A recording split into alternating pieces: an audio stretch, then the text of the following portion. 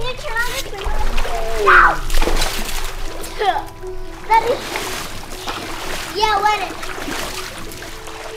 Everything started in July 2011 and I was diagnosed with non-Hodgkin lymphoma and I was on stage four when, when they find out.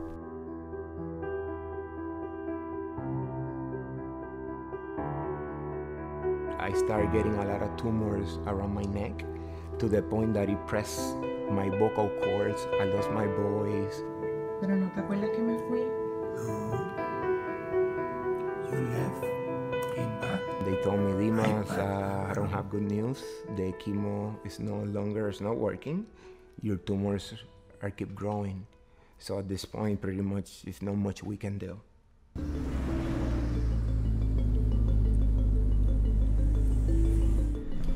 Uh, hi, Dr. Smith. These patients are without other hope. Uh, their life expectancy is a, a matter of months.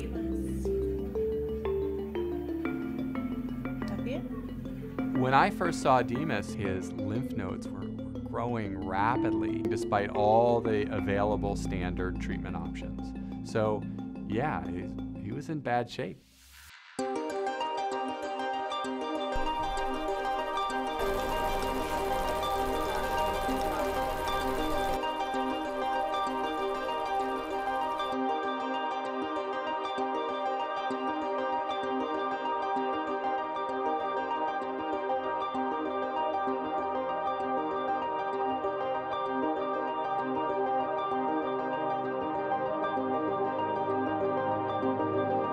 The CAR is simply a GPS navigation on the front of that T cell, so it knows where to go to get to its target. So a 100 kilogram man would get 200 million CAR T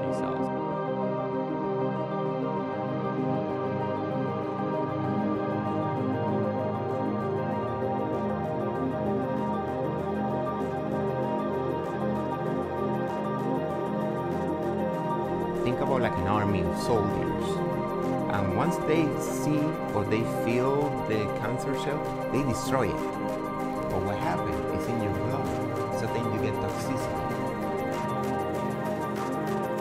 And because it stays in your blood, that's when you get this high fever, something about 104, 105 degrees.